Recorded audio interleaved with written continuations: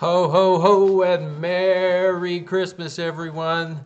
It is Christmas Day 2020. Thankfully, we're pretty close to the end of 2020 and we'll be able to move on out of all this. I really hope that your Christmas Day brings you everything that your heart desires. Fill your stomach, fill your mind, and fill your soul on this day as well. And uh, wanted to thank you for coming back one last time for our 12 days of Christmas Christmas celebration for 2020. I'm Gerry E. Potter with the ATS Business University Riquezza. And as you know, we've been doing this 12 days of Christmas uh, to try to celebrate and add a little more joy to your life. So let's get into the last episode here of our uh, storytelling and poetry. So I should start off. On the twelfth day of Christmas, my true love sent to me twelve drummers drumming, eleven pipers piping, ten lords a leaping, nine ladies dancing, eight maids a milking, seven swans a swimming, six geese a laying five golden rings, four calling birds, three French hens, two turtle doves, and a partridge in a pear tree. Happy Christmas Day, everyone. 12 Days of Christmas series. On the 12th day of Christmas, my true love gave to me. We've given you our version of many of the classic Christmas stories this year, talked a little bit about what the meaning of the 12 days of Christmas is and uh, we shared some of these rich Christmas stories, including "Twas the Night Before Christmas," "The Tailor of Gloucester," "The Snowman," "Christmas Chimes," "A Christmas Legend," "How the Fir Became the Christmas Tree," "Peter Rabbit," "The Cratchits' Christmas Dinner," "The Legend of the Christmas Tree," "How the Good Gifts Were Used by Two," and "The Littlest Christmas Tree," another Christmas short story that we were able to do for you this year. And uh, this, on the 12th day of Christmas, we're going to do something just a, a, little bit different with, with moving forward here. Uh, I've got uh, actually some poems that I've picked that really represent a lot of what Christmas is, and uh, to me, anyway, with the family uh, side of things. And I'm also going to do uh, Christmas as at Fezziwig's Warehouse. Christmas at Fezziwig's Warehouse, which is a short story with a funny name uh, by Charles Dickens, another one of our very prolific Christmas storytellers. So let's get this one going. Fezziwig's Warehouse. Aye, yo, ho, my boys, said Fezziwig. No more work tonight. Christmas Eve, Dick. Christmas, Ebenezer! Let's have the shutters up, cried old Fezziwig with a sharp clap of his hands, before a man can say Jack Robinson. Hilly-o ho! cried Fezziwig, skipping down from the high desk with wonderful agility. Clear away, my lads, and let's have lots of room here. Hilly ho, Dick! Cheery up, cheer up, Ebenezer! Clear away. There was nothing they wouldn't have cleared away or couldn't have cleared away with old Fezziwig looking on. It was done in a minute. Every movable was packed off as if it were dismissed from public life for evermore. The floor was swept and watered, the lamps were trimmed, fuel was heaped upon the fire, and the warehouse was as snug and warm and dry and bright a ballroom as you would ever desire to see on a winter's night. In came a fiddler with a music book, and went up to the lofty desk and made an orchestra of it, and tuned like fifty stomach aches. In came Mrs. Fezziwig, one vast, substantial smile. In came the three Mrs. Fezziwigs, beaming and lovable. In came the six followers whose hearts they had broken. In came all the young men and women Uh, employed in the business. In came in the housemaid with her cousin, the baker. In came the cook with her brother's particular friend, the milkman.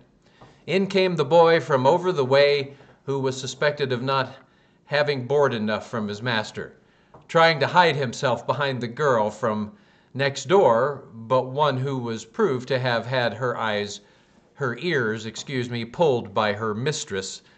In all, in they all came, anyhow and everyhow. Away they all went, twenty couple at once, hands half round and back again the other way, down the middle and up again, round and round in various stages of affectionate grouping. Old top couple always turning up in the wrong place. New top couple starting off again as soon as they got there. All top couples at last, and not a bottom one to help them. When this result was brought about, the fiddler struck up Sir Roger de Coverley. Then old Fezziwig stood out to dance with Mrs. Fezziwig.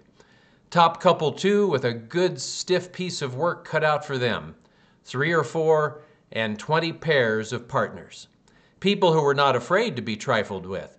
People who would dance and had no notion of walking. But if they had been thrice as many, oh, four times as many, old Fezziwig would have been a match for them, and so would Mrs. Fezziwig. As to her, she was worthy to be his partner in every sense of the term.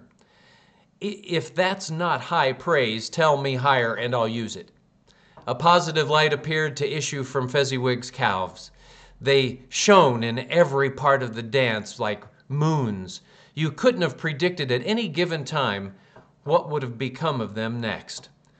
And when old Fezziwig and Mrs. Fezziwig had gone all through the dance, advance and retire, both hands to your partner, bow and curtsy, corkscrew, thread the needle, and back again to your place, Fezziwig cut so deftly that he appeared to wink with his legs and came upon his feet again with a stagger. When the clock struck 11, the domestic ball broke up. Mr. and Mrs. Fezziwig took their stations, one on the other side of the door, and shaking hands with every person individually as he or she went out, wished him or her a Merry Christmas, just as we wish you a Merry Christmas here today. The Fezziwigs did this many, many decades ago. Again, another story, uh, which is one of our, our favorite authors there. The Fezziwigs, of course, uh, comes to you on this Christmas with Gerry, Gerry E. Potter. And then I've got these three poems that I'd mentioned. Uh, they're short poems, but they really do seem to encapsulate what is the meaning of Christmas. First poem we'll end things out with The Old Family Album. Poet was Ethel K. Gosney, to give her credit. The old family album once was prominently displayed with its cover of red velvet, trimmed in gleaming silken braid. Every parlor had a table filled with shells and paperweight, and the album of your ancestors anchored like a ship of state. There were old tin types of grandma, aunts, and uncles, and cousins too, and Grandpa with his cane and derby, fancy vest, and button shoes. Yes, the old family album once held its rightful place in an old fashioned parlor amid souvenirs and lace. And if you're tired of travel and your world seems closing in, bring out the family album with the tin types of your kin. Poem number two To Me, What Family Is. The poet is Glader.